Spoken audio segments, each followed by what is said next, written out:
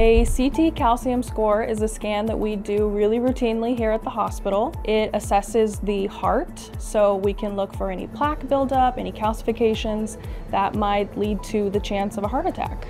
A CT calcium score is one of the quickest and easiest scans that we do. We will hook you up to our monitor to um, test your heart rate as we go.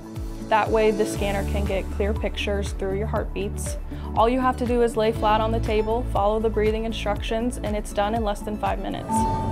Please breathe in and hold your breath. You should receive a CT calcium score if you are being proactive about your health and trying to take preventative measures. This scan specifically is especially important if you have a family history of heart attacks or anything cardiac related so that we can see if that is something in your future that we can stop before it happens.